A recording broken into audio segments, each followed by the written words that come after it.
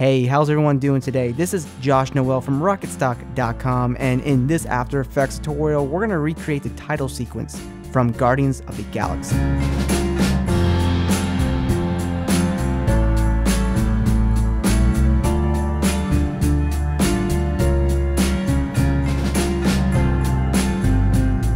So here we are inside of After Effects and we're going to be using a couple of plugins with this tutorial. We're going to be using Element 3D, it's from Video Copilot. Uh, but it's a pretty straightforward tutorial and very easy to do. So let's just go ahead and get started. We're going to go up to composition and click on new composition. And we'll just come here and call it, you know, tutorial comp. And I'm using 1920 by 1080, 23.976 frames per second, and I'm doing a duration of 10 seconds. And click OK. For our first element, I'm going to grab a space image. Of course, you can always download the project files. Those links will be in the description of this video. And just to scale, just hit S on your keyboard to bring up the scale.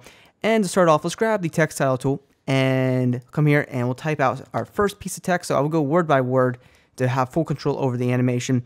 I'm to use the typeface uh, Sansation. Of course, you can uh, download the actual uh, typeface they use for Guardians of the Galaxy. It's called uh, Guardian, but I don't want to use it in this tutorial since we don't have permission to use it and it's their own custom typeface for the film. But the typeface is called Guardian. You can do a quick Google search for it and you should be able to find it with no problem. But here we are with our textile tool and we have the first you know type in here looking good. I'm to go ahead and bold this up so it's nice and you know round like that. And of course we can come in here, duplicate our text, uh, hit Command D on a Mac or Control D on a PC, and we can come in here and change our text again. So we'll do like Rocket Stock, and then we'll also grab the textile tool again, and maybe we'll do you know of the. So we got Rocket of the Stock, which is you know Guardians of the Galaxy, and we'll select all of our text here. And I left out E, of course. Grab our text here. Make sure we go to the paragraph tab and do a right alignment. If you don't see the paragraph tab, go, go up to Window Paragraph, and we can come here to the uh, you know tracking here and bring this down by a little bit. And of course, we can always adjust the size by a touch. And what we want to do is kind of line this up, all this text to be in a nice, you know, format. So we'll come here, just make everything a little bigger. And once everything is lined up nicely, I'll be back. So I'm back and my text is exactly how I want it laid out. And once you have your text laid out in this sort of format, what we need to do is go up to Layer, New, Solid. We'll call this one uh, E3D Rocket. And this will be our first word and click OK. And this is where Element 3D will come into play. But then go up to Effect, Video Copilot, Element. And what we need to do is go to the custom layers, go into the custom text and mask, and set the path layer 1 to rocket. And then we can go into the scene setup and this is where we're to go ahead and type out our text. Go ahead and click on the word extrude, and this will pop up our text like this. And we need to go into the extrusion model over here and set the number of bevel copies to 2. So if you go to the presets on the bottom down here, if you go into your materials, you should have a few default materials just like this. And what we're going to do is we're going to open up the extrusion model and we're going to apply the gold basic to the top one, to the bevel one up here. And then we'll grab like the paint down here and bring it to the bevel too, just so we can have some separation and we can see what we're doing right now. But we can go to the uh, gold basic and we can turn off the paint down here for a second so we can see the gold. And what we're want to do is go to the bevel outline, go ahead and enable that. And now we kind of have this nice stroke around our text. And then maybe we'll go here and enable our paint uh, layer here, go to that layer and we'll go to extrude and bring that number down so we can kind of create this sort of hollowed out effect here and you maybe won't have that so much, but call it like that. And let's set the expand edges to like negative, you know, 0.2. And this will just kind of prevent any sort of, you know, text popping through our border here. So we'll scroll down here to material type and set the type to physical shader. And that will kind of make that blue pop out a little bit more. And what we're going to want to do is go to diffuse under textures, click on non-set so we can bring up the texture channel let's go into this drop down and click on load from file. And this is where you might want to download a texture. And we'll navigate to this texture and I just you know got this grungy texture here with some scratches on it. And we'll go ahead and select texture and click OK. And now you see we kind of have this nice you know texture on here and that's looking you know pretty interesting and cool. And of course, we can go into the actual, you know, diffuse color and we can adjust the color of this overall texture. Maybe I'll brighten this up by a little bit. And maybe we'll go into the environment over here and grab like a nice sort of blurred out, you know, sort of look kind of experiment with what, you know, is going to make this look nice. I think it's a studio blurred, looks really good. Maybe we'll go back into our blue texture here, go back to the diffuse, increase the diffuse by a touch so we can really make that, you know, blues stand out by a little bit. Maybe set it to like four. And of course, you can always adjust the color maybe a little bit more. That should be good. Maybe we'll set the diffuse to like 8 or so. And this is maybe where we'll go here, maybe make the uh, actual border of our text a little bit bigger. So go into the gold layer and we can, you know, mess with the outline width by a touch. And of course you can mess with the, you know, inside bevel and the outside bevel. Just kind of make it pop out a little by a little bit. And that looks really strong. And one last setting that we're going to want to touch before we leave Element 3D is we want to go to both of these textures, just go one at a time, and we'll go all the way to the bottom to Advanced, and we want to set the ambient occlusion amount all the way to 5. So it goes from 1 to 5, and go to the second texture, and we'll set the AO amount to 5 as well, and then once you're done, you can click out of here. Okay, so we're looking really good. We have our basic text in here. Uh, however, the shading is not so good. You know, it's just kind of flat. Our text is in there. So let's go into our render settings and let's open up the lighting tab and let's set the add lighting to cinema. And we're automatically to get some new reflections in here. And, you know, it's to look okay. And maybe we'll go into the additional lighting, go into the rotation, and decrease the X rotation by a little bit. And this will kind of move the light around, and you can always mess with that by a touch. And what we'll do is go to Layer, New Light, and we'll click OK. So with this light, we'll hit P on our keyboard to bring up position, move the light back in Z space so we can kind of start filling this entire logo by a little bit, or sorry, the text. And let's go ahead and move the light up in Y space here.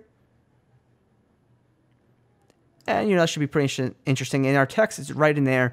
And so now our text is, you know, pretty much illuminated and we're not losing any of that, you know, color detail. Okay, so now let's go into the ambient occlusion and let's enable AO.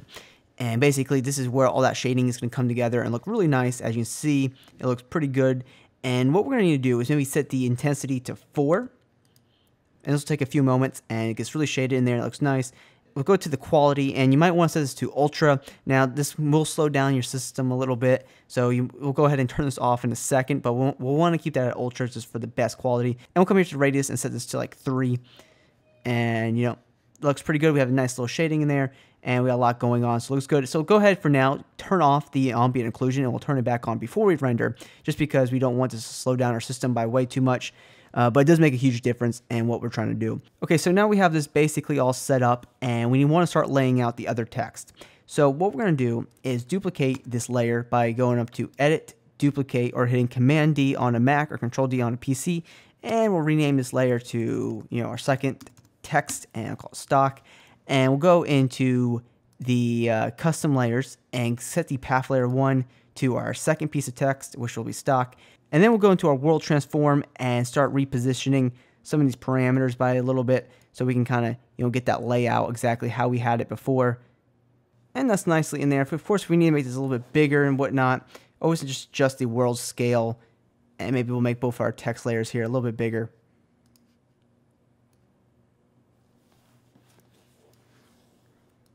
And we'll just come here and just duplicate this again and bring this to the top. And of course, we'll go back into our custom layers and set this to our third piece of text, which is of the, and we'll go ahead and reposition our last piece of text. Okay, so we're looking good, and all we have to do is readjust uh, the style of this text. So let's go into the scene setup, and let's start readjusting what's going on here. We'll go into the paint, and we'll come here and bring this down, go to the diffuse color, and you know set this to like a warmer, you know, yellow color like this, maybe a little bit darker, I don't know. Maybe a little bit warmer. That should be good. Click OK, and then we'll go to the extrude, and bring this forward by a little bit, maybe to almost one. Maybe we'll have it pop out like that, and that should be okay. And once we're done, click OK, and we'll have a different sort of style for our text here. Maybe the color's a bit off, but you know I think for the most part that is pretty close. So now we want to animate this to kind of come in here. And what we're going to do is we're going to go to the first word here, go to rocket, and we'll add a keyframe for world position XY and world position Z. And we'll also add a keyframe for our rotations over here. And then we'll hit U on our keyboard to bring up our keyframes. And we'll bring these over to about, you know, five seconds. So right over here.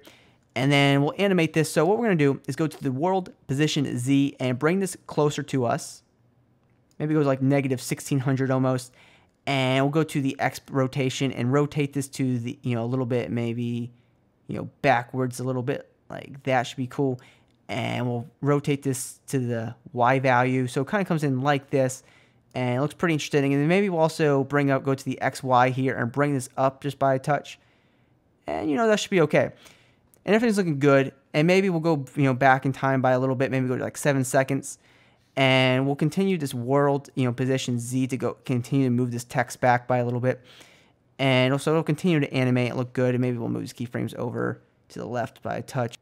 Okay, so then we'll go to our stock layer over here, and you're definitely going to want to add a keyframe for the X, Y, Z, and our rotation. And then what we're going to do is copy our keyframes, our first four keyframes here, and paste them to the beginning of our next word here. And all we have to do is go to the position XY and bring this down, just kind of reposition this by a touch. And we'll, also what we'll do is we'll bring the world Z position forward in time just by a touch. So now if we move it forward in here, it'll look like our second piece of text is, you know, in front of our main text here. And that's pretty cool. And then, you know, we'll go ahead and copy this last keyframe and paste this in here so this will continue to animate forward. And then basically we got to do our last one here for our third text. So go to like, you know, our four second mark here and add a keyframe for world position X, Y, Z, and our rotation. And once again, we'll copy the first four keyframes, go to the beginning of our timeline, you know, paste those in there. And we'll just come here and, you know, make some adjustments as necessary. And, you know, we're, we're to want to make some adjustments. So go to the world position XY and we'll just you know move this keyframe forward in time so we can kind of see where things are at and just move the world position XY over just by a touch like this. And then we can move this keyframe forward in time back to the beginning. All right, just taking a little bit of tweaking and you know, there you have it. Now we have our text in here. Make sure to copy the last keyframe there and paste it in for the world position Z. And things are looking really good here. We're basically almost done. So let's go ahead and add a lens flare into our composition here. I have a download here, which you can download this in the description of this video. And it's just a lens flare that we're gonna go ahead and composite into our footage. So let's go ahead and drag this into our timeline in here, just right on top of everything. And let's toggle switching the modes and set the blending mode to add. And basically now we got rid of the black background and we hit S on our keyboard for scale. We can go ahead and scale this down by a touch and we can nicely position this right above, you know, whatever element that you want to composite it on top of. And maybe we'll do like a 20% scale there. So let's go up to Effect, Color Correction, Curves. Let's go to the red channel and bring this up by a little bit. Go to the green channel and let's bring it down. And let's go to the blue channel and we should be able to bring this down as well, which will kind of give us a orange to yellow sort of look here, kind of giving us that gold lens flare. And that looks really nice. And what we need to do is position this uh, lens flare to follow our text. So what we'll do is we'll hit P on our keyboard to bring up position and hold down shift and hit S on our keyboard to bring up scale and add a keyframe for both of these uh, properties right here. And what we're going to do is maybe go to the end of our animation, which will be about seven seconds, and wait for this to load up. And maybe we'll just have like a nice little, uh, you know, keyframe it. Well, and we'll go ahead and just position this to where it'll kind of animate along to the you know right side here. And we'll kind of come here to the beginning of our timeline here. And let's go ahead and just really scale this up by a touch. And let's go ahead and just reposition this lens flare, you know, to be right above uh, of our text here. And let's go ahead and check this out all the way throughout our animation and see how it follows through. And sometimes you're going to have to just make some readjustments what's going on here. Maybe we'll go ahead and scale this down just a little bit more as well. So maybe we'll put this down to, well, maybe we'll keep right there. Okay, so our lens flare is now in there and looking good. So since we're done now, let's go back to our ambient occlusion and enable this for each of our words, and we'll call it a day.